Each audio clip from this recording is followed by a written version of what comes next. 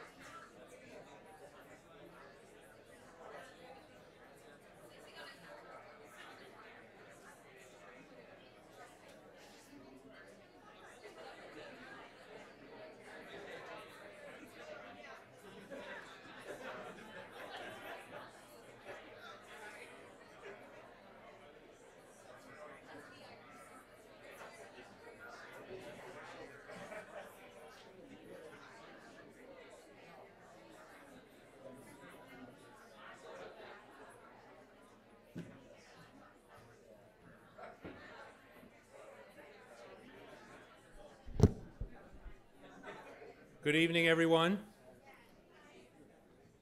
Good evening, everyone. There you go. Uh, it's my, I'm uh, Dr. Clarence Braddock, I'm the Vice Dean for Education at David Geffen School of Medicine.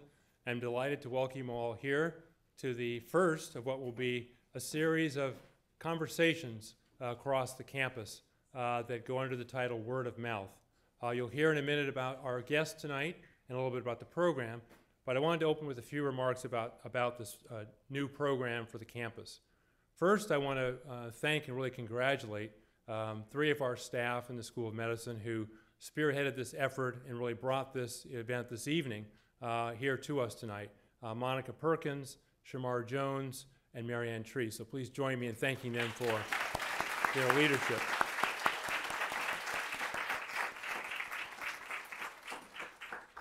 I don't need to tell uh, any of you about how uh, the events in our lives these past uh, weeks, months, and years uh, have impacted all of us. Some of us very directly, uh, some of us uh, more indirectly, but no less deeply. we live in very challenging times where some of the issues that face us, our families, our friends, our communities, seem to be more stri- uh, striking and more severe, even as the dialogue seems to heat up and be less collaborative and less solution oriented. We in, the, we in the health professions have, I, I believe, a special obligation to be engaged in this conversation about social justice, about race, about uh, equality, about equity, and in some ways, that obligation needs to lead us to do something. Oftentimes, it's hard to know what that something is. It's hard to know that something is. And part of the reason for these conversations is so we can begin to talk with one another, to be inspired by our collective solidarity around issues of equity and justice, and begin to find a path forward where we can challenge our energies, our passions, our values into positive change. So I'm really delighted that this uh, event is happening today. It's happening during Cultural Awareness Week, an event that's sponsored by our Office of Diversity, Inclusion, and Outreach and several of our uh, wonderful student organizations who are deeply passionate about these issues. Uh, the David Geffen School of Medicine enjoys a, a special place, I, I believe, in medical education because we do have deep traditions of partnerships across Los Angeles, across multiple of our vulnerable communities in ways that we want to amplify. We want to begin to make positive change in the area of health equity and in the area of social justice. Wow. Thank you, thank you. So, uh, without further ado, again, I just want to welcome everyone. This is the beginning of what's going to be an ongoing conversation. As many of you know, we've had other events this summer, uh, dialogue uh, groups, we're really trying to create a space where we can talk with one another about sharing our experiences as a way of connecting, of establishing solidarity, and moving beyond the sense of despair that we can sometimes individually feel to a sense of solidarity and collective action that can begin to change the face of what we as health professionals and, youth, and future health professionals can do and what we can contribute to the broader community. So with that, I would like to introduce uh, Wyvern Oswald, who's uh, one of our uh, medical students who's played a pivotal role in this event. He's going to introduce our speaker. Thank Wyvern. you, Dr. Riley.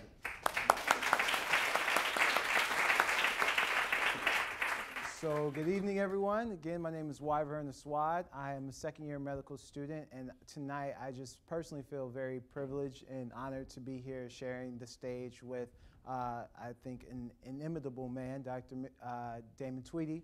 Uh, I, he was just asking me actually kind of how this responsibility came onto me, and a bit of head scratching. But I will say though that um, I'm very grateful to be here uh, to kind of lead in this fireside chat. And uh, I, I, will say, so I guess I'll give a little bit just in the way of background before we open up this conversation. Uh, Dr. Tweedy uh, is a native of the uh, Baltimore, Maryland DMV area. Uh, and he uh, attended college as a Meyerhoff Scholar at UMBC, University of Maryland, Baltimore County.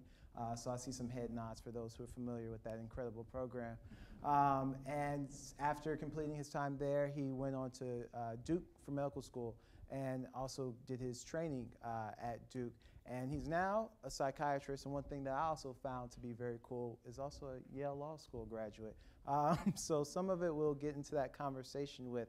But I guess I, Dr. Tweedy, I, I like to start in beginnings. And I think a, a couple of folks here know that one of the things I'm passionate about is origins, you know, kind of how people's early lives kind of influenced their decisions to go into medicine. So I guess our first bit of conversation tonight, can you just talk about what it was like growing up and in, uh, in Baltimore and just, you know, how that may have laid a foundation for you and your interest in medicine down the, down the line? Sure.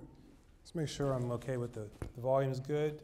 Yeah, so first I just want to say it's, it's great to be here. Um, this is really exciting. I always loved uh, having a chance to talk with uh, audience with medical students. Medical school, you know, there's certainly ups and downs with it, as I talk about in my book, but it's also one of the best times in my life. Met my wife.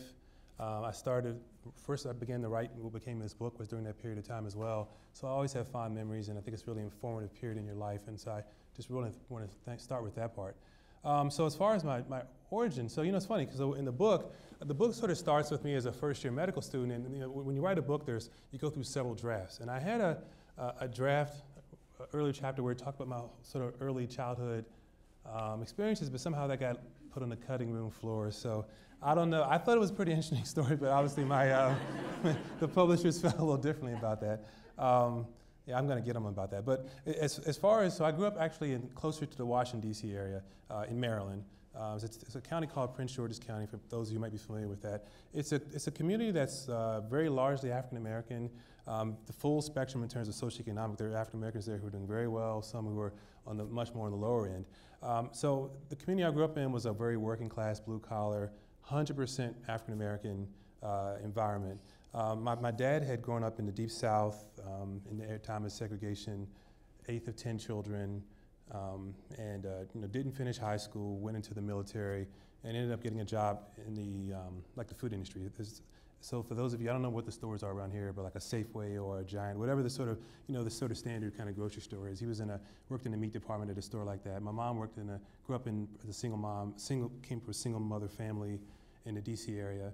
Uh, and uh, ended up uh, working the federal government. And so together they had kind of carved out a working class life, you know, for themselves and for, and for my older brother.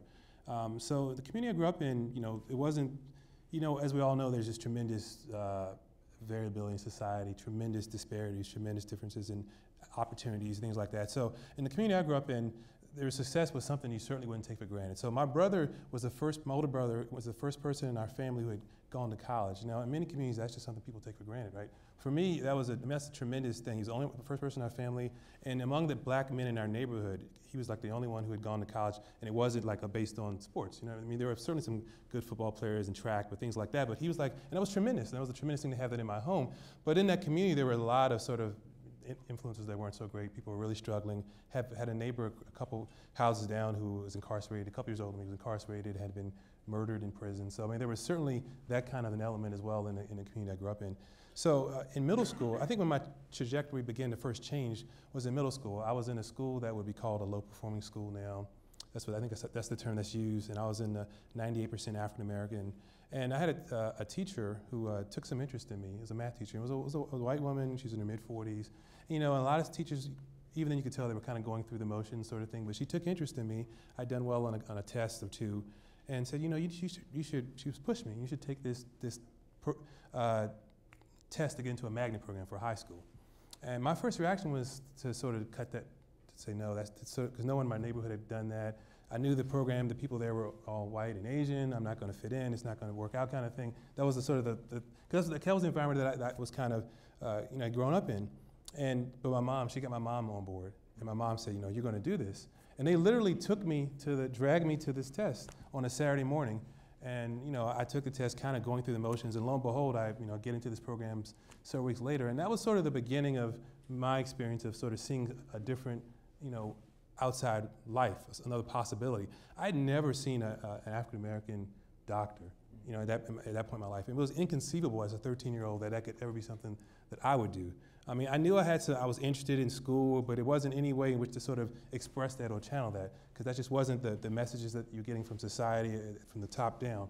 And so that was the very sort of the beginnings of me sort of, and it was a science and tech program, and then that led to my, my college experience where I was also in a science and tech program at, at UMBC, and it was, a, it was a new program called the Meyerhoff Program. And then from there, the book sort of starts with me uh, being a first year medical student at Duke. And so that's sort of the, the journey.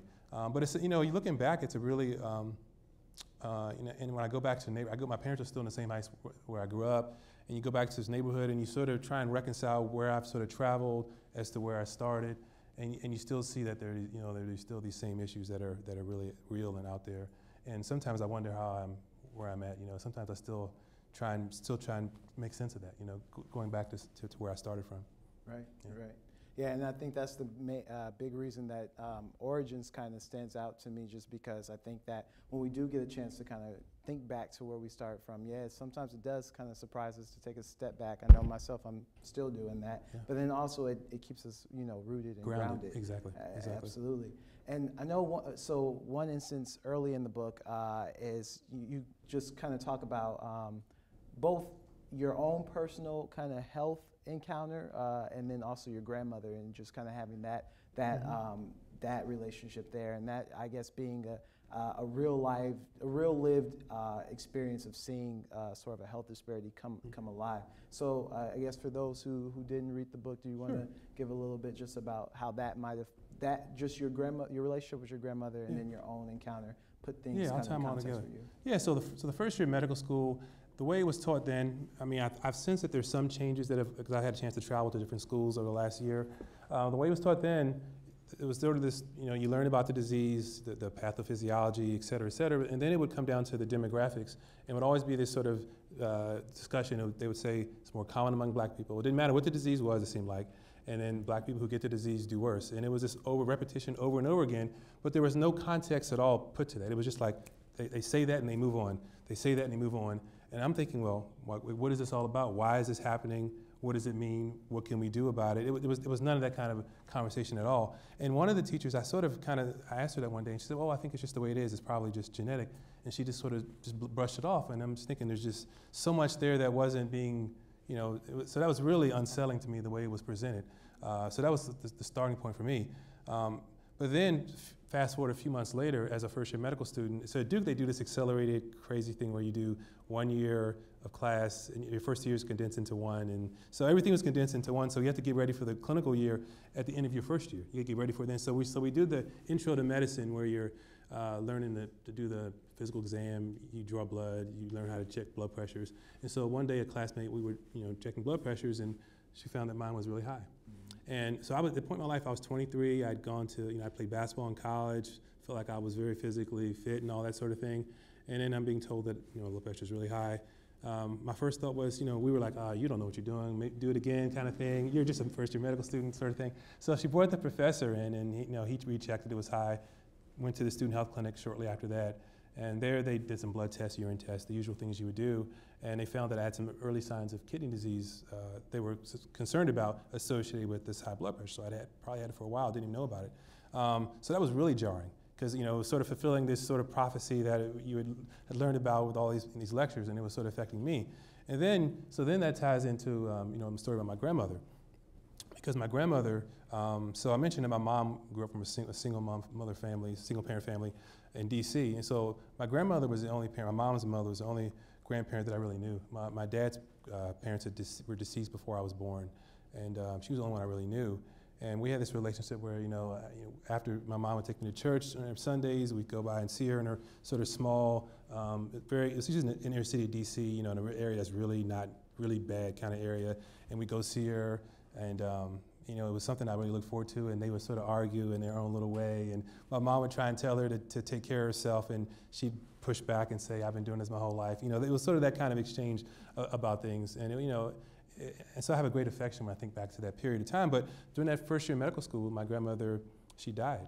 And uh, so shortly before I started medical school, she had, um, so I known she had high, high blood pressure. But then a few months before I started medical school, she had a series of strokes. The first couple were minor, you kind of recover, full recovery. Then the last one was one that caused, you know, permanent physical and uh, mental uh, impairment. And um, again, so, you know, she was sort of, so she had high blood pressure, uh, strokes, and then she ended up dying from heart failure, which is sort of kind of rapidly onset. Again, these are all things that were professors were saying over and over again was more common among black people, had a worse course. So this narrative that I was learning in the classroom was sort of affecting my grandmother and then affecting me. And so, I'm, so then it sort of became this uh, personal kind of obsession to kind of find out what this was all about, where we could go, because what I was learning in the classroom wasn't giving me any answers. And so that's sort of how the journey of, of writing the book and exploring this whole thing began. Yeah, I think too, just like as I'm listening to you kind of talk about this this story, and I think particularly hearing sort of professors, um, you know, kind of espousing the different kind of uh, racial associations there are to certain uh, diseases. I know that at times that can be triggering as a medical student. And I mean, and I also just, you know, I, I, reading in your book, though you never actually explicitly talked about it in the whole Dr. Gale incident, you never named it, but it almost sounded like, you know, between hearing these kind of triggering things and then having a professor who flat out, you know, assumes that you're here to change the light bulb and things like that. I, one thing that we talk about here often is imposter syndrome, and it might have sounded like that that was something that, that you might have um, experienced in that first year. And the reason I'm bringing that up right now is because we're still in the prime of a new school year, about five weeks into the new year, and we definitely have uh, a lot of new faces who've been really rapidly eh, got themselves involved in the community, and of mm-hmm. course we've been embracing them. But just can you just, I guess, talk about that that that that imposter syndrome, but then also talk about kind of the things that you took to, you know, really guard yourself against some of those feelings and feeling that you you know, learning how to feel that you belong in this space as a medical student. Some heavy questions. This guy's very uh, professorial here. So, uh, like, wow. Okay. Um, so let me let me get my stuff ready here. Okay. So um, I want to keep it a little light. Uh, yeah, no, it's obviously a very serious serious topic, and yeah, this idea of not belonging and sort of feeling out of place. Yeah, that pervaded my whole experience uh, in the very beginning. Uh, I talked about the sort of the class-based element to it, but then there was also, and so there was that part. But when I started medical school, you know, it was it was '96. Um, hard to believe it's 20 years ago. Uh, you know, I was sort of approaching it at a time of sense of optimism. You know, it's not that racial issues weren't there. Of course, of course they were. At that point in time, there was a big push to, to outlaw affirmative action, and that was sort of the push at that particular time. Um, but it, you know, it wasn't certainly kind of the way it was now. So I actually entered medical school with this sort of aspiration of post-racial uh, feelings. That was what an aspir- That was what I was hoping for, and, and just sort of wanting to be like everyone else in a way. Um, of course, I knew when I got there that my, there was a class difference, but then it became obvious that despite whatever I wanted to do, there was this way in which other people were going to view me, and a lot of that did have a, a big component to race. And so there were incidents I talk about in the book where professors have sort of, and there's one incident at the beginning of the book where I open up as a, as a, as a first year medical student, and I'm in a lecture hall, and as you mentioned, the professor asked me to, I come into the room, and he, and he confronts me at the doorway and asks me to, you know, fix the lights in the classroom, and it escalates from there, and you know, he says, I called about this, why didn't you do this? And it was really this sort of you know, bad mistaken identity, obviously. And, and when I told him that, you know, he's got the wrong person, he's like, well, then why are you here?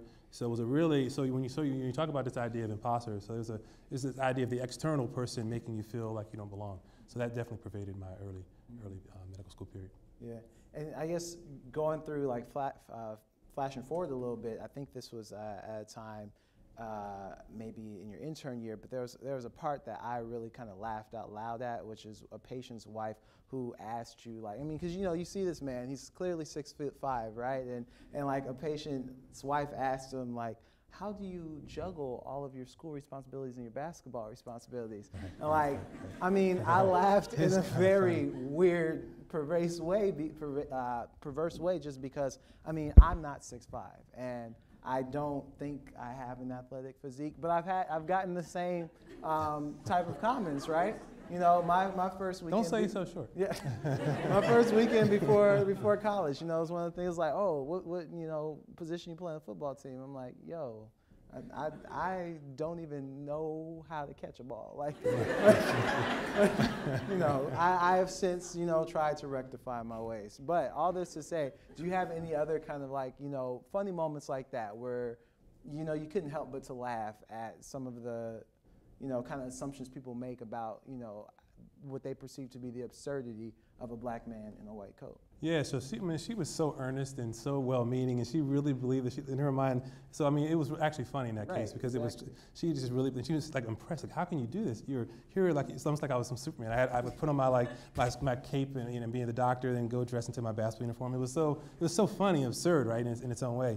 Um, but then there were other cases where it was much more, uh, you know, negative and such more, uh, where people were you know, such where they're like, well, you don't, like, you don't belong here. Like, you know, why aren't you on the basketball court? That's the only place you belong in our society. And people actually say that. Um, but in a, in a kind of the more lighthearted way, um, now, you know, I'm a psychiatrist, and, and, particularly in that field, people will see me and just really not expect to see someone that looks like me, you know, uh, as, a, as a psychiatrist. And it, some of the reactions I get, even now, um, where a person, they're taken aback and they don't know what, how to respond. And so I'll say, hello, I'm Dr. Tweedy. And they'll say, and they'll think, and they'll say, oh, you know, my, my best friend, uh, son, my son's best friend is black. And it'll be like the very first thing. I mean, it'll be like no exchange. It'll be like, I'm Dr. Tweedy, and it'll be like, boom, you know, I know someone who's black who's a good person. And so, so they're trying to reconcile, you know, you know, it's, it's awkward for them, obviously, and they're trying to reconcile that. So, you know, there are times when, where there I can just sort of just, you know, uh, laugh at it. But then there are other times, of course, when things are not so funny. But you got to find some humor in some of that because I think in, in those cases, yeah, people are just, they don't know what to say. Right. Yeah. Absolutely. Um, and I know that, like, so this is my time to ask the audience a question. Um, at least I wrote that note to myself. Um, was that, you know, I think that obviously we're in a space right now where we are all people who came here to talk about race mm-hmm. and medicine, race in medicine, all the combination of those words, right? Uh, and sometimes it feels like we're preaching to the choir, but I like to turn that idea on its head and say we're speaking to a captive audience. And um, I, I, say that because there's a part that, and it comes up multiple times, this idea of like not wanting to be the, the, the black man who's bringing up the racial Mhm, conversation mhm. and like wanting to, instead of have the conversation, kind of just take a step back and just not even, not even deal with it because, uh, you know, racial fatigue, I think is the, is the phrase you Right, used. right. Um, so I guess, how many of you all in this audience have ever felt a moment where it's like, you know what, I just don't feel like having that race conversation? Yeah, you just don't And go then there. how many times though do you feel like you could have like you really want to go there, but you know you just feel like it, you just can't go there.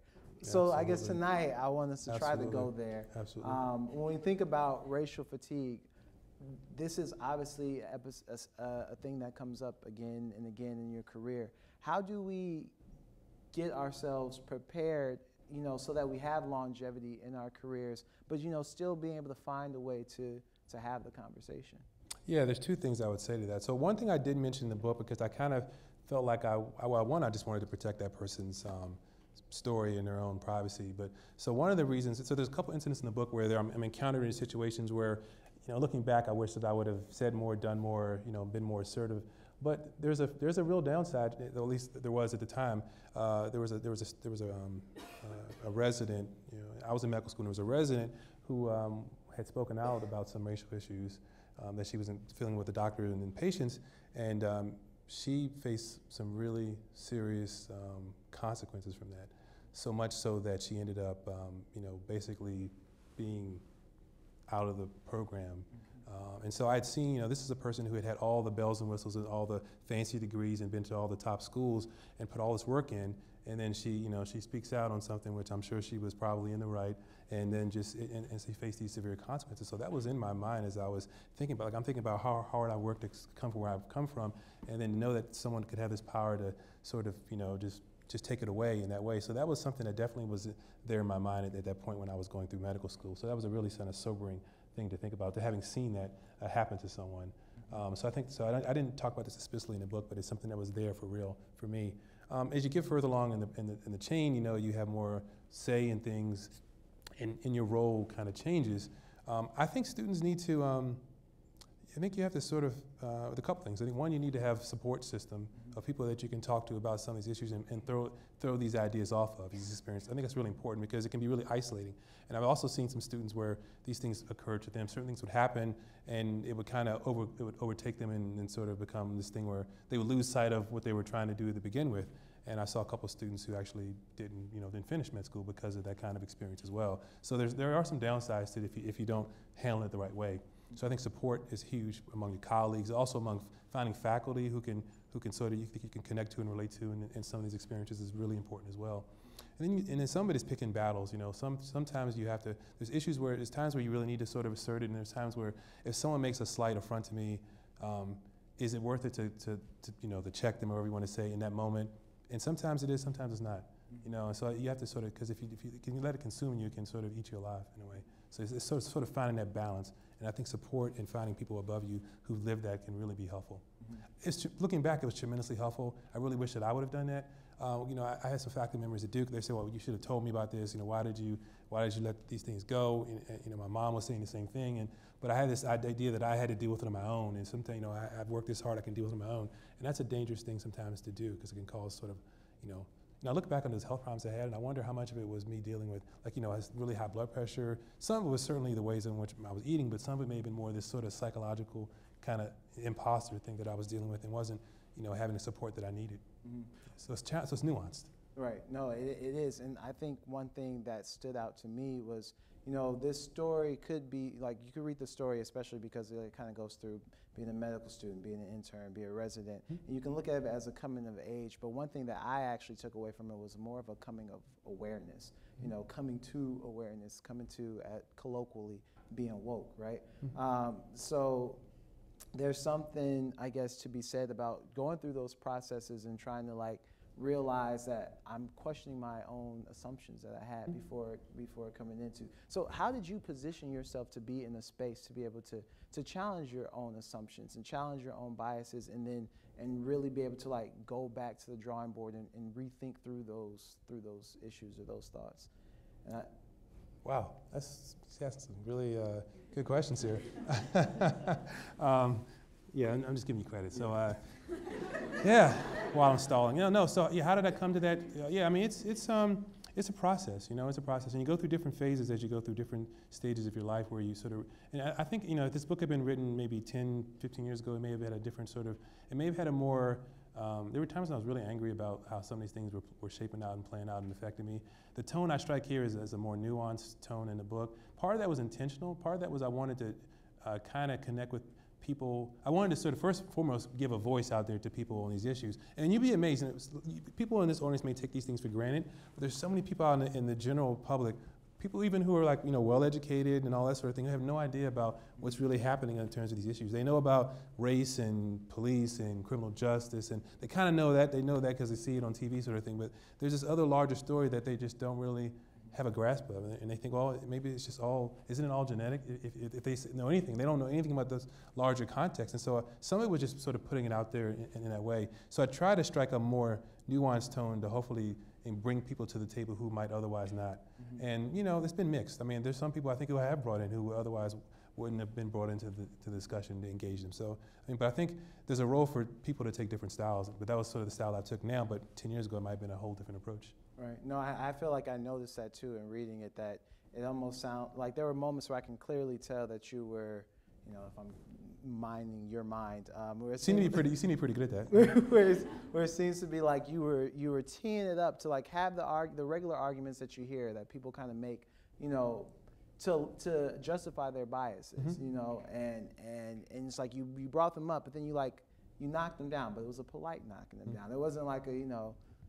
Let's just dash this all, but it was just like you, you could think of it this way, but but here's this, and um, I mean, I think like particularly like one of the with, with the episode with the the young woman who had been uh, smoking crack with um, you know her her daughter. That that one kind of like stood out to me because you asked a whole a series of questions in there where frankly it was like I feel like I would ask those same questions. You know, this this is an episode where you know the the physician is not getting any information out of this young woman, and she's a teenager, and she had been addicted to crack, and she was pregnant, uh, but she wasn't really being forthcoming with it.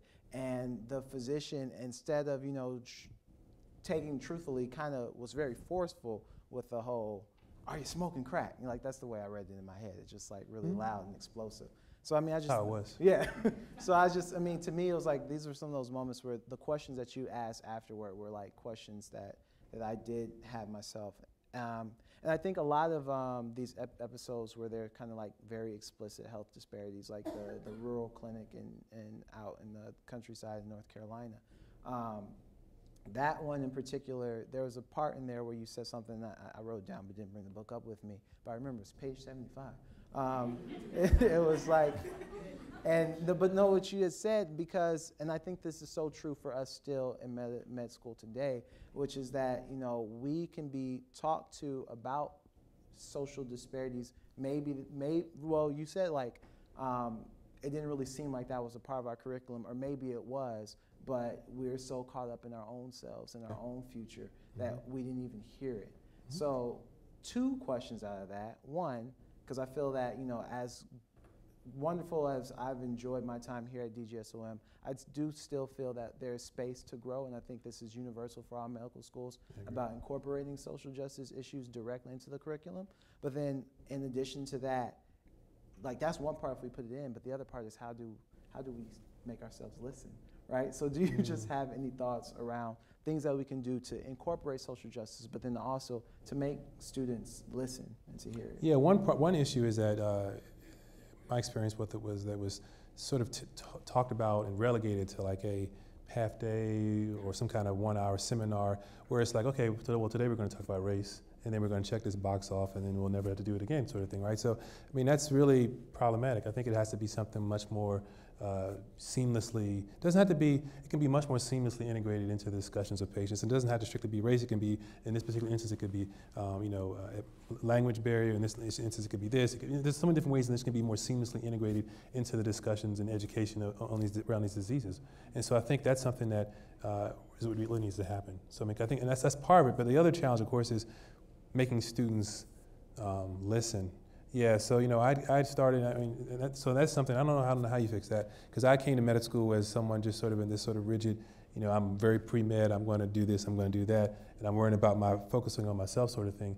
You know, and, you know, in one incident, it really happened because it sort of ties into the political um, world we're in now. I'm not the you know I'm not the most um, not the most political person in the world, but so in medical school, you know, uh, North Carolina, uh, North Carolina had a they had a senator whose name whose name was Jesse Helms and Jesse Helms, for those of you who don't know, was, was basically like one of the last people who could sort of, sort of like openly racist in, in a very open way. I mean, we're just, I mean, there's so many examples of what he did. He was the, he led the fight against MLK Holiday. There's so many different things that he did where he was just the openly, openly racist.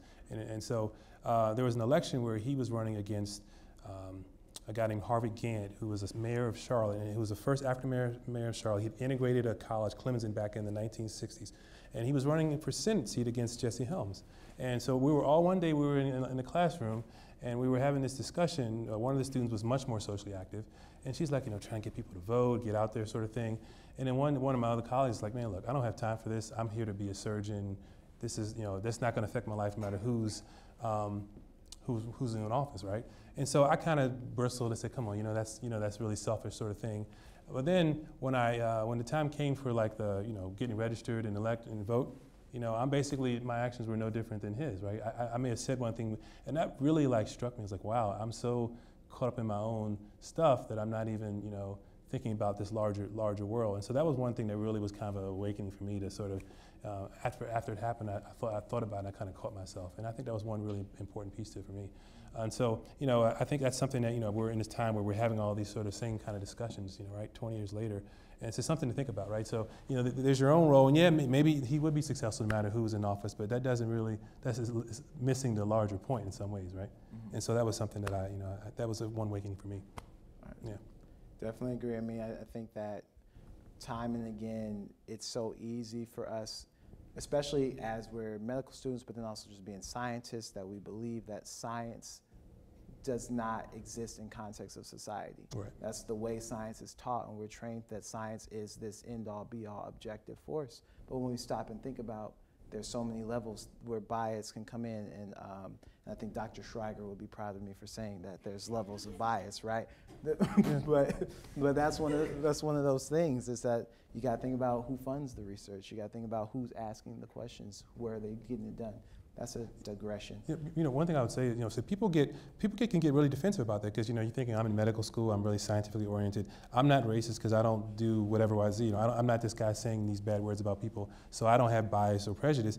You know, one one example I talk about in the book that really kind of illustrates how these things can really play out uh, is when I was a patient. This is later in the book, and um, I. Uh, I had old knee injury from my sports days, and I was many years, fast forward many years later, in my early 30s, I'm in my, at home in my yard, working around the yard.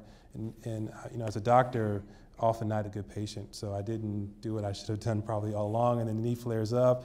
And then I'm in the, uh, so I got to get this checked out. So I go to the um, urgent care clinic.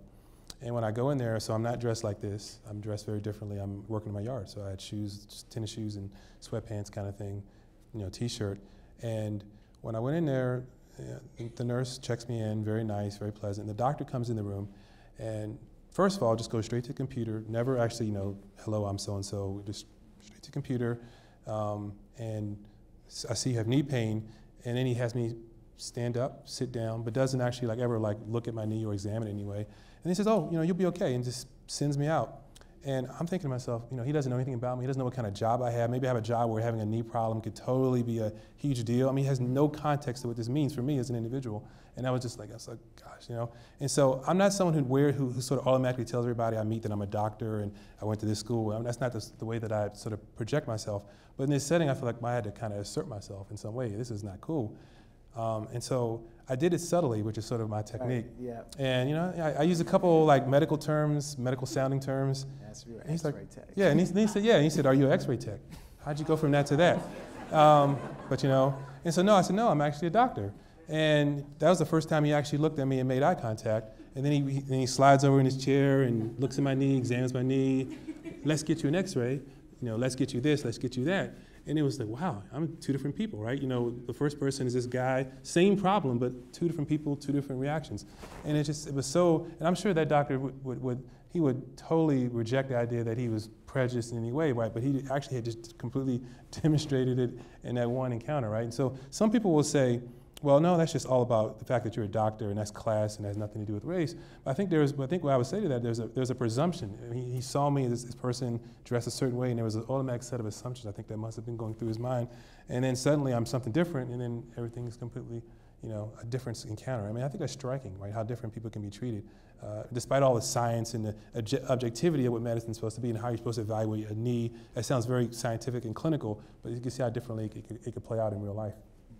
No, and I think I, I want to. I'm gonna come back to that right there because what it is is like really demonstrating how doctors can be biased. Uh, but before I ask that question directly about doctors and bias, I guess I wanted to ask why psych? Because you kind of, you know, right before you made the transition to part three, you kind of mentioned Brushed over, what, yeah. what, happened. But I was just yeah. interested. Why, why psychiatry? Yeah, so I'm actually working on a. am um, starting to try to work on a second book that'll sort of talk more explicitly about uh, psychiatry and mental health and, and know, have some issues around the African American community as well. Um, so for me, I grew up in, I, I, told you my background, the community I grew up in was very, I told some of the students this earlier, was very, um, I don't want to say hostile, I mean, but just very much not uh, engaged or interested in mental health. It sort of seemed like psychiatry was something that was alien, was for another part of the segment of the population, not for the community where I grew up in it was something, it was almost seemed like there was this, there's a narrative that's often in our community where African Americans have survived so much historically, you've gone through slavery, you survived that, overcome Jim Crow, that there's this sort of idea that you've done so much that you, you're so strong that mental, you don't have, there's no space to have that kind of, anything like that. Mental illness is some kind of weakness or something like that. And it's not real. It's almost like it's just like, you know, and, and, and at the same time that people would say that, in my own family, uh, they would say that someone has, they have a strange way about them, but it would never be that it could be anything more than just that. It was like, that was the way in which it was described. And, you know, it always, and I think I internalized some of that, for sure, you know, growing up. And so when I got to medical school, psychiatry was not anything that I was thinking I would ever do, way down on the bottom based on that sort of background. And I didn't totally care for my rotation clinically as a second year. They didn't like it that much. And um, they didn't seem to like me that much based on my evaluation. um, so, so uh, but nonetheless, um, uh, you know, I had a friend who actually had some, around this time, he had a serious mental health problem as a roommate, actually. And, you know, I, I saw how, I'd seen him how he was before, you know, working, functional, high functioning person, saw how this mental illness episode affected him severely so much that he left school, striking to me. I'd never seen anything like that at all, and he was African American. And um, had another friend who had some other, some similar kinds of issues. It wasn't to the same severity. And uh, so that was, started thinking about it, that was the beginning of me thinking about it. And then I ended up being in a research lab where they were, it was, the focus was on, cardi- was on sort of cardiovascular health, which is what I was interested in initially, but they also had some behavioral health psychologists and psychiatrists there. And I was like, oh, kind of pretty interesting. And, and I saw how important the mental health piece was to the physical health piece, right? And so that was thinking, so that was a part that really kind of began to draw me into it. And then as I, um, I ended up doing an elective in my last year of, of med school, and I got to see a little bit more about you know, this, this thing that I grew up in and this despair, you know, this sort of uh, stigma with mental health, how much it was impacting the, my community even more so. And then I began to think that maybe there was a role for me to sort of play a part in that. So it was a real, it was, a, it was like an evolution that occurred and one that I never would have imagined you know, when I first started. Mm-hmm. But I saw there was a tremendous need, you know, in our community. But were, we, at that time, I don't know what they're teaching you guys now, but we were being taught in medical school that you know that African Americans, you know, that whole narrative about overcoming adversity, that African Americans are somehow resistant. Like they would say, well, black people have worse health problems than every other thing, right? So heart disease, diabetes, cancer, but you know, but, but because the suicide rate's lower, black people don't have mental health problems, and they would actually explicitly, professors would tell you that, and and I was like, that was, and so that was it was at odds with what with common sense and what I was actually experiencing. But there was this narrative that was sort of being put out there, which was really problematic because it reinforces there's a community that's sort of resistant to it, and there's the doctors that are reinforcing that by actually believing that believing this sort of false narrative. Mm-hmm. And so I really wanted to be a part of kind of change that and help that and get out there and sort of help people. That speaks so much to my soul because some of my classmates know some of my research interests, and it's literally that. But I want to get back to the, the, di- the digression. The reason I brought up the psych portion, because not only do we have the mental health stigma, mm-hmm. but then we also know that just the world in which we live in, any person carrying a mental health diagnosis gets stigmatized. And I think the one episode to me that was just had me kind of feeling like, what was um, the man, the gentleman who got the label of being OCD. Right. Um, and so I just want to set this stage up for, for you all. Um, actually, let you tell the story. Um, since since it's, it's your story, uh, but but and just just but just I, I bring what that page up. was that on? I'm just, just No, no, no. But um, just because like that is one of those moments of like clear physician bias. Yeah. Um, so a guy came to these in his mid 50s, came to a sort of a county hospital setting, chest pain. First thing you think about, obviously, is heart disease, ruling out that. So they do the test to rule out the heart attack. And, um, and then it becomes lo- looking at, well, what are his risk factors for heart disease? And how do we stratify them and all those sorts of things. And so they did some tests. And then it becomes, well, we're going to, we need to be on some medications to reduce your, reduce your risk, right? So stop smoking. He's on board with that. You know, give him the patches, those sorts of things. Take a medicine for your cholesterol. He's all on board with that. But then they wanted him to do a blood pressure medicine, and his blood pressure was sort of borderline elevated, not really high, you know, 140 or 90, really the borderline.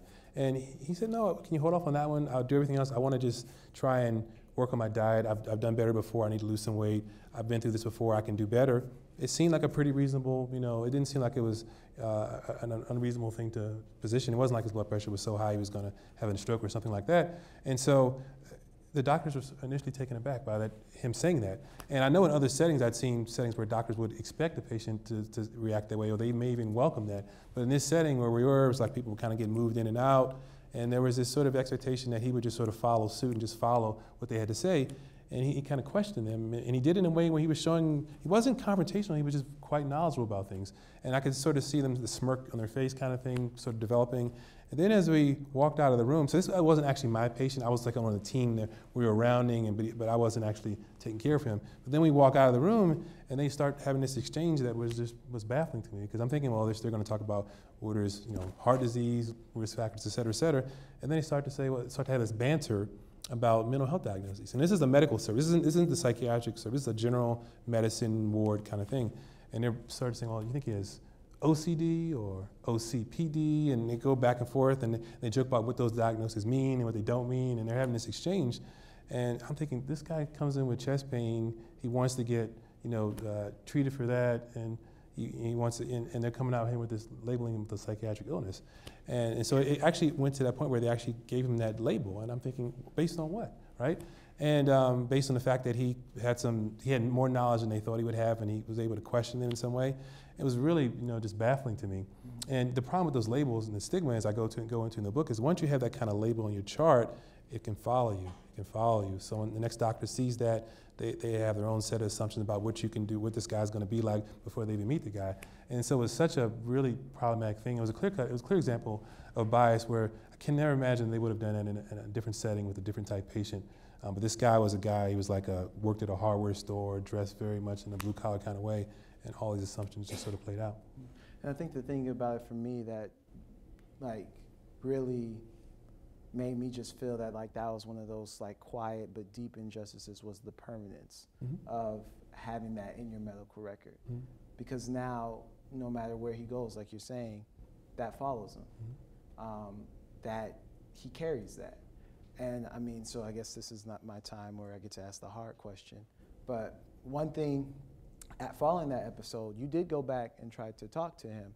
And we're asking, did he see anybody else? And it- Mhm. it sounded like you weren't trying to alarm him and just straight ask, did you know that they're giving you this, this label? Did, you, did the psychiatrist come and speak to you? But you just kind of said, okay, good, best of luck to you, and, and kind of Mhm. sent him on about his way.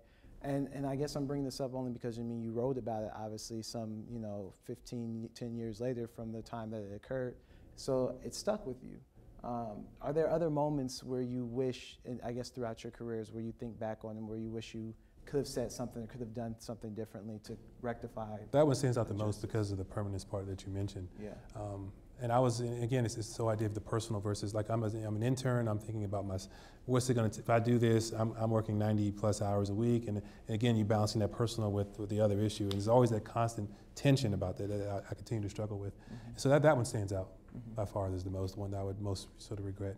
right Uh, what I've seen a lot, you know, is, is kind of more echo on the mental health piece. There's a lot of mislabeling that occurs, uh, and often you'll see African American men in particular, sort of often being the biggest victim of it. When you think about, like, a lot of African American men I'll see this label, they'll be labeled with schizophrenia. and it's not actually. Then you'll you'll see someone down the road, and you'll see this in a chart. And when someone says schizophrenia, you're automatically thinking the worst.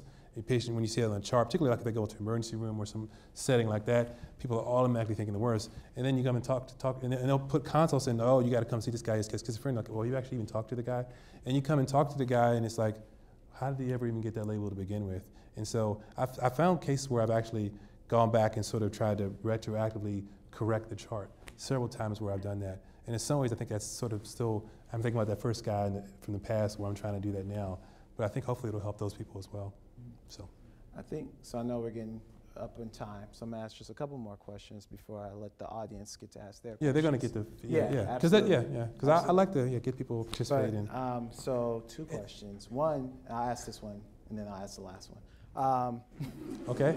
I think, I think I follow it. yeah. Uh, I think something that comes up just in gen- uh, recurring, and like you know, just knowing these different stories, these dis- different instances Mhm. that you've kind of saw health disparities play out before your life, and it wasn't just something in the classroom, but it was actual, an actual patient. Uh, you just ask a question that comes up again about what is our obligation as physicians to to these the, these people. And I guess I guess my question for you is, what do you see as our obligation as physicians to dealing with the, the social injustices of the world? I think everyone has to find their own. This is a question I think about a lot because it's, it's changed over my life, the course of my life. Everyone has to find their own way of uh, whatever speaks to them. You really have to find that what, you know, what that is, and it's going to be different for different people. Um, so it might be like, for instance, for me, you know, writing. I love the process of writing, the, the experience of writing. So me, that's a way in which I can kind of get get this, some of these awareness to some of these issues. For me, that works. Um, some people. I'm also uh, more recently been uh, trying to mentor some uh, some some young boys, uh, you know, black men in high school age, and I've sort of gotten established a pretty good relationship with a couple of them. So that's been a really important thing uh, as well. But everyone has to find their own space, uh, you know, because there's so many. The problems are immense, right? And there's so many levels. You can be on a, level of the policy level. You can be on the community level. And there's so many ways in which you can do it. But you have to find out what's going to make you wake up that in the morning and feel like that you're doing something good and what speaks to you. I mean, I, I think that's really, really, really placed to. I think we all have our own role to play. Um, I mean, you can you can sort of be in your role where you just succeed for yourself. I mean, there's people who do that, but I mean, I think that's just that's you know. I don't want to judge them, but I feel like uh, you know, I, I, there's times in my life when I feel like I was actually getting in that direction, and that was part of what really made me want to put this book out there. And because I'm not someone who really likes to get out there in front of audiences and and speak and talk. And you know, I, this whole last year in some ways has been like, a, on the mental health analogy, it's been like an exercise in exposure therapy because you know I'm like not someone who really wants to get out there and talk in front of people. But again, it, it's something I felt like I need to do, and writing was my form to sort of get that out there. But everyone's going to have to find their own role. Um, the problems are immense. You know, when, when I think about, there's a quote from. Um, uh, you know, I, am familiar with the quote from years, but it, it, has more resonance to me now as I think about it, from Dr. King. It's not the quote I use in the book from him, but it's, there's a quote where he was said, you know, if I can't do great things, I can still do small things in a great way. And so I think, you know, if you're an intern, you're in a clinic, and there's all these immense problems, you can't fix everything, right? But there's a, there's a role in which you can really play, a, whether it's a small thing, or you can make a great role, uh, and a big part of this bigger, bigger puzzle. So that's what I would say to that. I mean, it's easy to just be overwhelmed and say, just because you can't fix everything, then don't do anything. I've seen that self-defeating thing play out, but you can't do that. I mean, there's so many roles to play in these larger issues. Mm-hmm. So my last question before the audience time um, is about Carrie. Um, so I guess, or just. You mean Carrie is my wife? Your wife. Okay. Absolutely. Okay. Absolutely. Um, you know, so one, you, you started off saying that like in medical school you did you did meet your wife, and Mhm. I bring this up, you know, to give people there's love in the hopeless place, folk. Um, yeah. But, but more than that, um, one thing that was really striking to me, and I, and I bring this up uh, just to just to acknowledge um, the power and strength of Black women, particularly because she was your senior in medicine. She was before me, you, ahead of ahead of you, Yes. and and there were times when you were a fourth year or when you were an intern and you looked to her Mhm. kind of to give you that just understanding of like what is to come, what Mhm. to expect. So can you just talk about just you know your female colleagues and and and Carrie, but other just women colleagues that you've Sure. just learned learned from. Yeah, there's a whole other story that could be told there. Um, in some ways, that you know, sometimes when I talk to audiences, that uh, I've talked to some people, and they actually are more interested in her story than mine. I'm like, yeah, okay, because it is. I mean, I, I don't say that to demean her. I mean, I think in some ways it is fascinating. So she's from, you know, she has more of the immigrant story. Her family's from Jamaica. She came to the U.S. as a small child, lived in Florida, and um, so when we got to med school, she, you know, her parents were also weren't formally educated, and she, her her um, her parents divorced, and she had a really hard go of it as a child. And so we could really connect in some ways in terms of that feeling different, that otherness, and that was part of what initially brought us together um, in medical school. Um, so yeah, so she ended up specializing in internal medicine. She did her training down at Emory in Atlanta, and so there's a chapter in the book where I'm there as a medical student rotating, and she's a resident. Um, yeah, I, I think of her as my better half. I mean, she's the yeah, she's the rock solid doctor. I'm out here writing books and things, and she's the rock solid doctor. So this, so, so but a little bit about her story. So she finished her her residency, and so she set up practice in a small town in North Carolina, and it was um, about uh, I guess about an hour or so away from Duke. And uh, the catch was is that they were going to um, you know, repay her medical school loans, and so that was like sort of the, the appeal to it. And it was an area that was 45, 50 percent African American, a large population of African American people. And when we and we, the first we first um, this is none of this is in the book, but the first uh, year there's a medical society party, Christmas party kind of thing we went to, and I expected I was I was kind of anticipating we might be the only um, you know African American doctors. That that sort of thing has been has kind of gotten used to seeing that. So that wasn't surprising when that was the case. But what surprised me was when we, we looked around the room, and she was like, there were only like was one other female physician.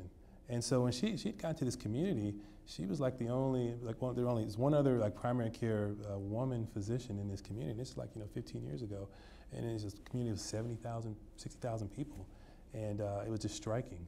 And then and, and when she when she first started her practice, I mean there were so many um, just outright discrimination and, and, and, and some of it, you know, among other medical colleagues that she had to fight through and fight. And, and a lot of it was, a lot was as much gender based, if not more so than, than race. I mean, there was definitely a whole other layer uh, to that problem. So I think, you know, and in, certainly in school, she experienced things that were, you know, uh, as a woman, that were even in some ways more challenging than I did. So I, I would definitely say that there's a whole other story from the, you know, the sister um, perspective out there. So if there's someone out there who's going to be that future writer, I mean, there's, there's definitely space for that story as well. It's a really important one to tell. Mm-hmm. Um, but over the years now, so she started her practice from scratch, like you know, literally from scratch, and because you know there's you know no female, no minority doctors, no women doctors. Her, I mean, her practice has just really grown and thrived. People have just flocked to her because um, they, they felt like there was someone who could sort of understand their her, their story in a way, uh, and so it's really been, been a great thing. Yeah. yeah. Thank you. Yeah. All right, so I know we have some mic runners out in the audience. Um, so yeah, any question? You know, there, there, won't be any question you've asked that uh, I, I, I, was telling you that I've, I've, had some of the most bizarre questions to ask that you could ever imagine, and I know no one here is going to do that. So have it at it. No pressure.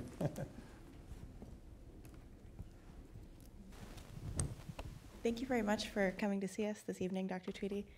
Um, my question relates to your training in law school, really. Mm-hmm. I understand you went to law school mm-hmm. after you completed medical school. So, what was missing from your medical training that you needed um, yeah. well, to go to law school for? Two things. So one was, you know, as I talked about, there was no context to what was all these uh, sort of social and economic uh, disparities and differences. There was no context brought to, to that discussion. I kind of got a little bit disillusioned by, I, I was, went to medical school with this idea of everything was going to be sort of scientific, you know, and I realized that there was so much of it of health care, so much about health didn't really involve the actual practice of health care. It was so much beyond that. And so there was this inkling in me.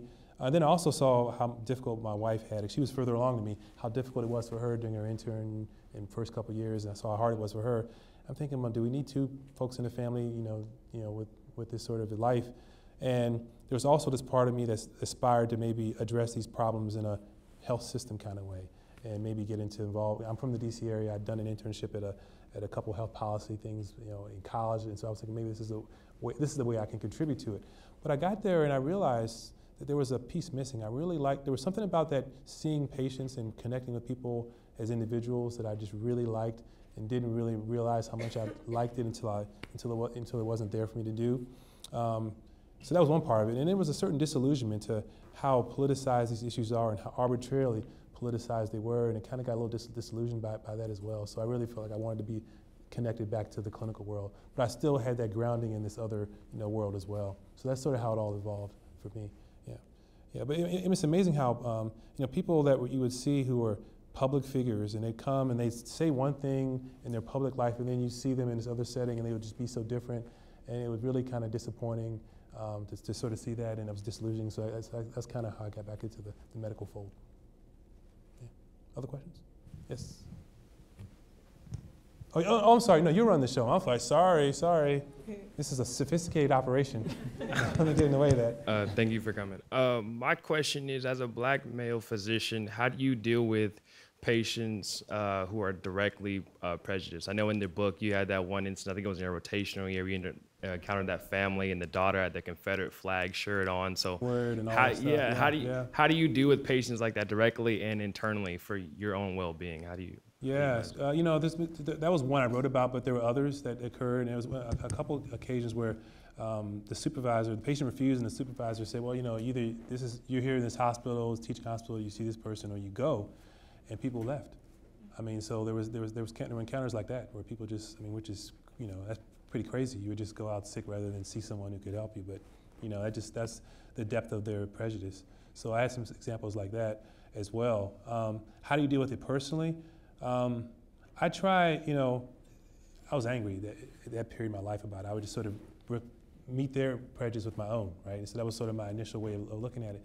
I've tried as I've gotten further along to sort of try and, to the best I can, think, well, this person, try and see it in, in their way. Not that I'm justifying the way that they are, but saying this is a person who's had their own problems. They have, you know, maybe they've never seen anybody. They've only seen what they see on TV, kind of thing. And I try and not, not make excuses for them, but just sort of make it so that it's just not always sort of weighing on me in this internal anger sort of thing. And I say, well, that's their ignorance, that's their problem. Maybe I can help, maybe I can't. I'll do the best I can, and then kind of move on. That's sort of how I try and uh, try and work it through. But there's different phases in my life where I was much more, you know, angry about those kind of encounters. There's no doubt. Yeah, and you, and you see, the funny thing, the, the thing is that some people, since this book's come out, people have, some people have tried to make this seem like it was a something relegated to the South. You know, South is racist, et cetera, et cetera. Um, of course, there's that history, but I've had doctors from all parts of the country say the same stories. You know, doctors in Maine and Washington State and a whole geographic region say these same encounters. Yeah, California. yeah, so this stuff's everywhere. This stuff's everywhere, and so I think we shouldn't lose sight of that as well. Uh, these are real issues. Yeah. yeah. I know someone else was, was a, you know. Okay. Um, so earlier you spoke a bit about mental health. Oh, I didn't expect everyone to turn around. Um, All eyes earlier, on you. I see. Now I see how you feel. Earlier, you spoke a bit about mental health and how whether people want to accept it or not is still it's a very real concern. It's a very real um, it's a very real issue across all communities. Yeah. Um, but specifically, the community of medicine, in particular medical students, how do we, or what are things that we can do to make sure that we're taking care of ourselves, specifically as medical students, medical students of color, good or you know, students that that have a that feel a you know a duty to you know not just their future patients, but I mean their community, their family, but also yourself. So how do you take care of yourselves, especially in this climate? um, that's that's really been glaring in terms of social injustice. How do you make sure that you take care of yourself and you're okay in you know in medical school and in this society and making sure that you do what you need to do so that you can get through it, get out and really begin to I guess be that beacon of light in this. So support, again, support, support both within your community, medical community, but also outside the community is also really important. Like I had a group of guys that I would always play basketball with outside of campus, and these were guys that you know they did all sorts of jobs throughout the hospital. And it was another way to sort of ground me and to not lose sight of you know my own connection to to the community in some ways. But it, so that's one thing I would say. I think another thing that's important is that you know in medical school you mentioned mental health. So certainly you may not see, um, see this now, but you'll with there's certain there's like a sort of hierarchy of how some specialties are more seen as more desirable and more challenging than others. Psychiatry is often seen in a less favorable light, particularly you know the kind of school that I went to. Uh, it was much less favorably uh, received. Um, So you have to sort of figure out what, again, you think about this idea of speaking to you. What is the, what is the field that really makes you want to go in and get up in the morning? And to me, it's like, so I've seen some students say, well, if I want to be part of the cause and commitment, I have to be like a primary care doctor or I have to be a whatever. And I've, had, I've also seen people, advisors sort of steer. Some, some guys, uh, some schools I've gone to, they said that their advisors, because they were a black or Latino, they would, they would deliberately steer them to certain specialties, which is a real problem. I mean, you, because the reality is that these issues are relevant no matter what field you go into. And you shouldn't say, well, I can only become a OBGYN. There's nothing wrong with OBGYN or a, a you know, pediatrician because that's the only way that I can help the community. I mean, it's great if you want to do those. There's great needs for that. But if you want to be a orthopedic surgeon and that's what really speaks to you, you should do that. And because there's still there's still enormous disparities and issues that you can address within that as well. Or you can be an ophthalmologist and there's enormous issues there that you can address with, you know, within that as well. So these issues transcend every specialty in medicine. And you have to just sort of not let the pressures to be a certain specialty for reasons that aren't you know the right reasons. It can't be based on should not be based on. Um, I know there's a pressure about money. I understand that um, particularly when you end up here and you have loans and whatnot. But that can't be the reason that you, it should not be the reason that you pick a certain field. It shouldn't also be because it's going to look good to someone else, or, or, because what it should be, you know, what it is that speaks to you. And if you want to be part of the community and the cause, you can do it no matter what field you're in. Um, so I think that's that's the, that's really the best piece of advice that you can have. It's so important. And so many students I see get caught up in these things and end up being unhappy because they don't they make the decisions for the wrong reasons. Yeah. So important. So remember that when you're, you know, in your third and fourth years. It's so, it's so true. Hi, just to piggyback off of Amaya's question, um, when you're dealing with patients and you're seeing patients who have normal jobs who can really maybe take a little bit more time to deal with their um, mental health illnesses compared to when you're dealing with um, physicians and medical students and people who are in like higher education and have so many other things and they don't really have as much time to deal with their um, mental health um, upkeep, I guess. How do you um, prescribe medications, or what different things would you tell based on different populations you see? That may also include minorities versus non-minorities. Okay, I think I've, so. Your question is how do you deal with people who are in, in, in professional fields versus people who are not? Is that Be, more like how do you? What types of things would you advise for people in professional settings versus non-professional settings in terms of things they can do to keep up their mental health and keep it? Yeah. Um, yeah, I mean, some of those things that I mentioned, you know, as far as the, you know, kind of being constantly willing to sort of reevaluate your priorities, your goals, where you are, being open to that uh, is a really important thing. Um, you mentioned about medications. I mean, that, that, that one of the mental health has so many issues and problems in terms of how the system is being set up. A lot of times, the people who are most in need of the more uh, extended care are often ones getting less care because of how our system is, is, is played out. I mean, there's a lot of problems there. I talked to some students about that earlier. Um, yeah, I mean, so I, don't think, um, I think that's a, that's a very individual, you know, kind of thing. Uh, you know, I think some of the things that I mentioned before about the support uh, with you with other students is so is so crucial. But also being connected outside of the medical orbit because it can sometimes be suffocating in some ways is also really important as well. Um, you know, there's also this idea of students where they say, "Well, I'll be happy when I get to X, Y, Z, mm. X, Y, Z." Uh, you know, when I finish this, when I finish second year, when I pass step one, when I finish my clinical rotations, whatever, I'm going to be happy, I'm going to be happy.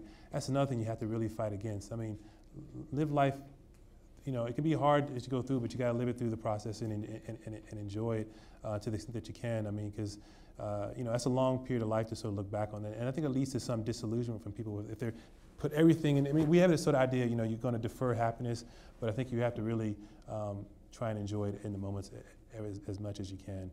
Uh, I know that's not easy, and it's a hard thing to do, and sometimes it requires you to daily remind yourself of that, and also check in about what was good about today, what were the good things about today, sort of thing. Some people actually will recommend actually like there's even apps for that. I'm so technologically bad with this stuff, but there's ways to sort of. But there's some students at Duke that have been doing that. Like how do you sort of because I've been doing some sort of wellness. Um, there's like a wellness committee sort of thing, and I found that even though things have changed in some ways in medical education, you know, in terms of you know, like particularly residents, hour, a lot of classes are pass fail now. You know, it's not the grade stuff, and you know, the hours are, aren't as bad as they once were. The problems are still the same. You still see a lot of the same unhappiness and things, and so you have to just guard against that and try and live every day to the and, and, and guard against the mentality of I'll enjoy life when I get to this point and enjoy it at every stage of the way. Yeah, so important, and just kind of it requires a constant reexamination to do that, though.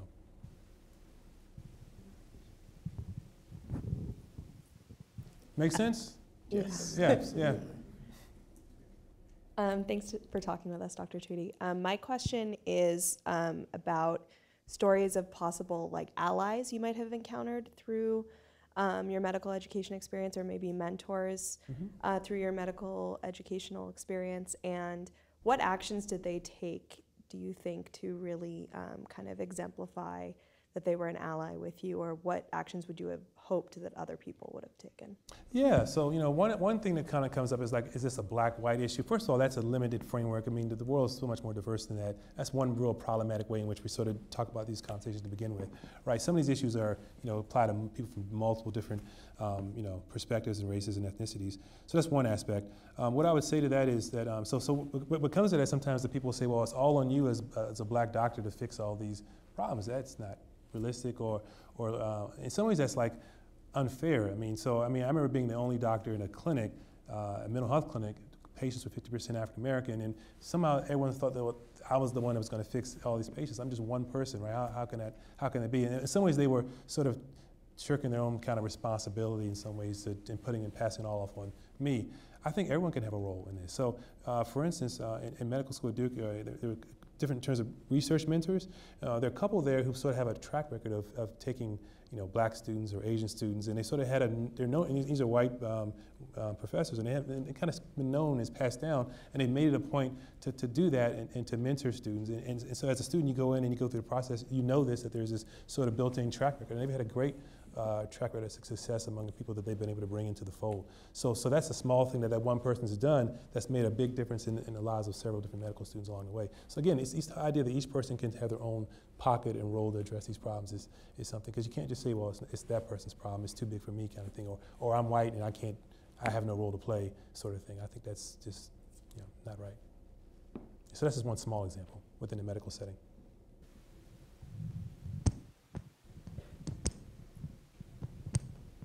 You mentioned uh, an example of a resident who spoke up when she encountered racism in the program and the tragic consequences that she faced. Mm-hmm. Can you think of an example of someone who spoke up about racism um, in which progress was actually made, and if so, how did how did he or she go about it?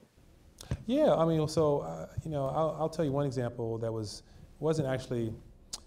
So so uh, it's actually involved me. So when I was a um, uh, further in my psychiatry training, we had to do like a, uh, a seminar, uh, what was called family therapy seminar. So you either could have a choice between couples or parent-child kind of situations. At that time in my life, I didn't have kids.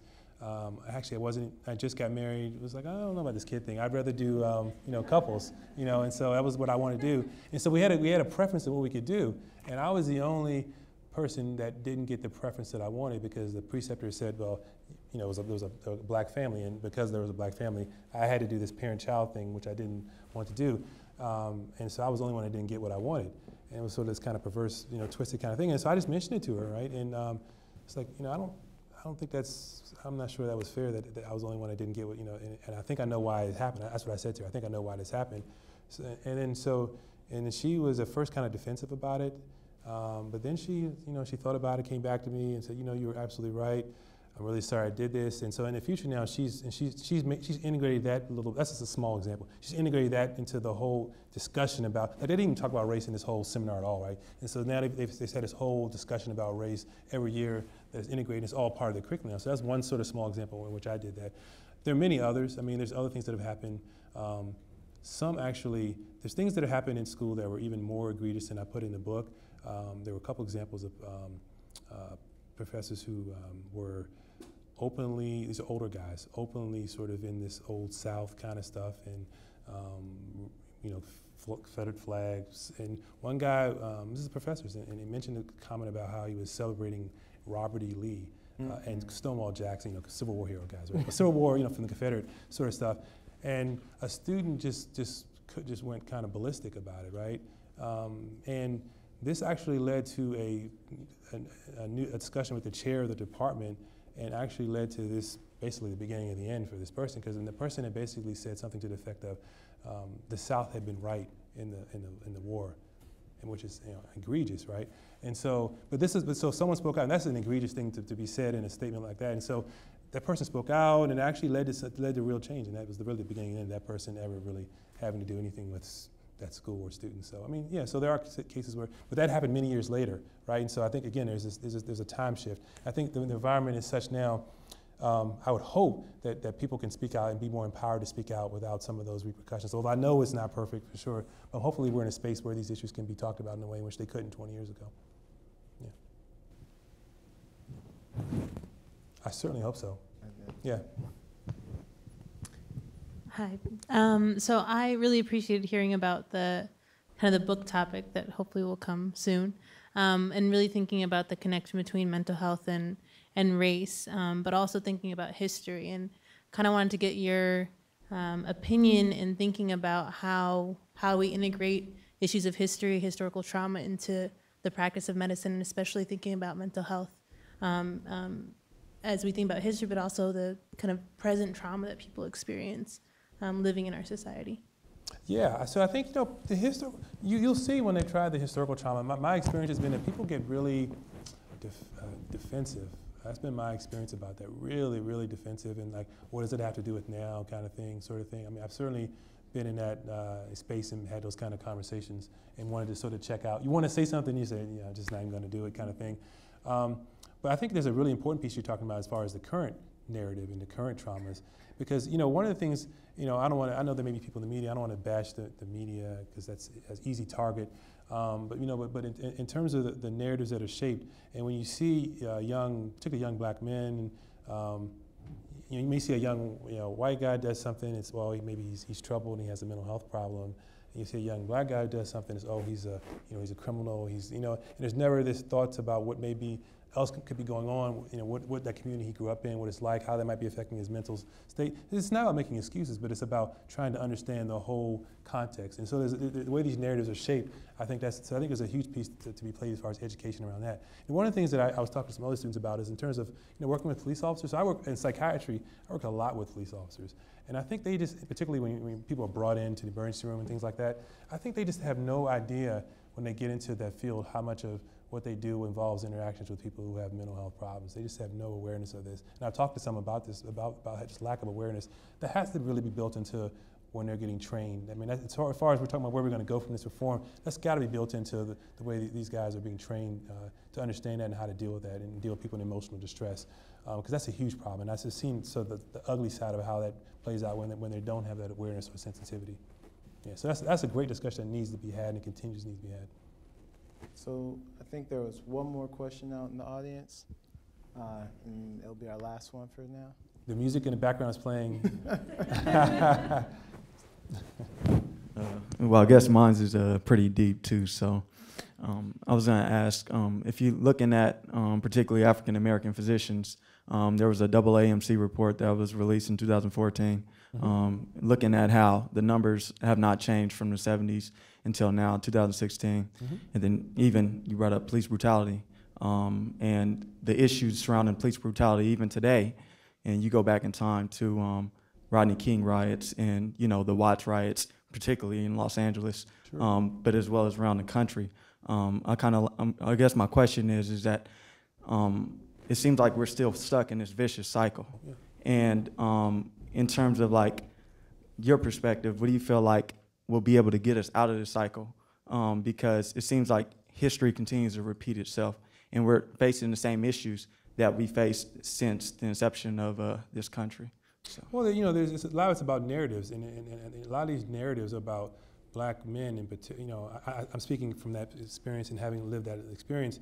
Uh, there are narratives about what that means and, and where, where your place is in society, um, you know, I, I, had this conversation with a guy who's in the media, and I was like, well, why is it everywhere you go, you, every single place you go throughout the country, you turn on local news, it's always the same format. Why is it always that way?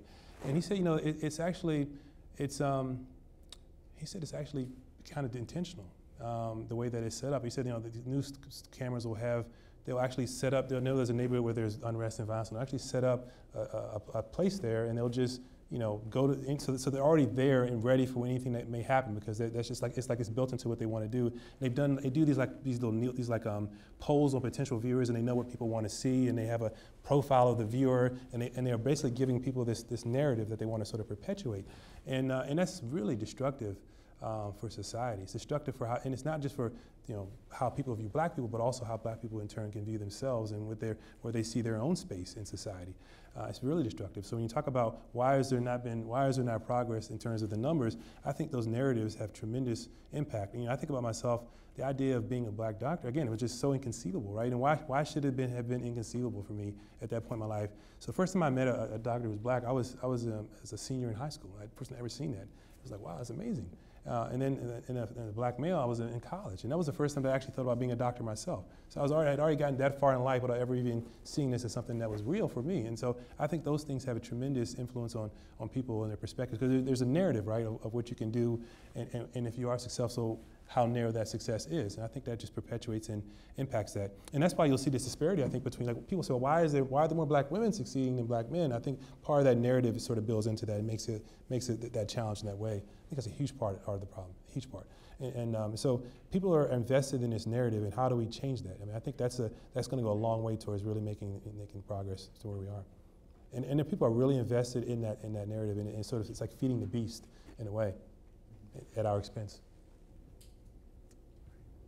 So yeah. thank you, audience, yeah, for question. participating in that, Aaron. Thank you for closing us out with that. I'd like to bring up now to the to the stage Dean Kelsey Martin. yeah.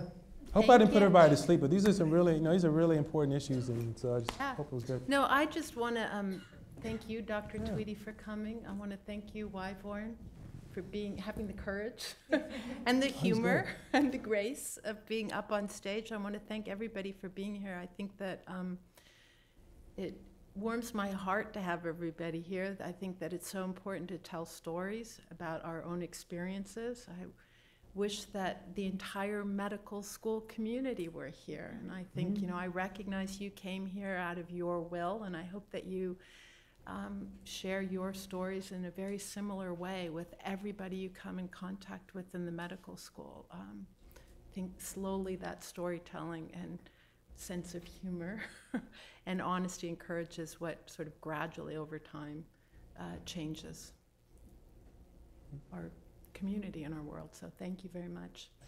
Thank you. I'm going to let you, don't leave yet because there are instructions for the rest of the evening. so just a few housekeeping. Um, afterwards, uh, Dr. Tweedy will be uh, signing books if you've brought your own book. Or if you'd like to purchase a book, uh, UCLA Bookstore is right outside um, across uh, the way, and Dr. Tweedy will be right out the auditorium uh, to the left. We will also have an optional discussion section uh, with small group discussions led by our wonderful faculty. Um, so if you uh, checked in, you would have received one of these um, slips of paper with a number on the bottom. So if you'd like to participate in the small group discussion, we understand for, especially for the medical students, you have to study. Um, but um, if you'd like to stay and uh, continue um, this discussion, um, groups one through three will be around the corner, um, kind of towards the subway over here, and then a four through six will be in the middle, and then seven through nine um, further down here, closer to the food. There'll also be some small refreshments out for everyone. Thank you so much for coming. Thank you, Dr. Tweedy and Roger.